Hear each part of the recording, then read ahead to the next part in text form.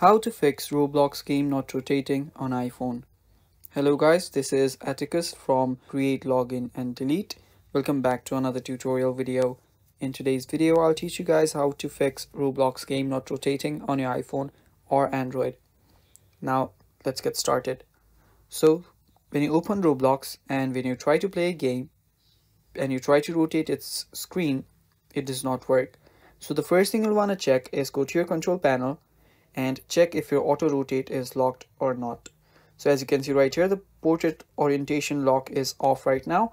So if I start a game and just turn my screen sideways Roblox should turn sideways too.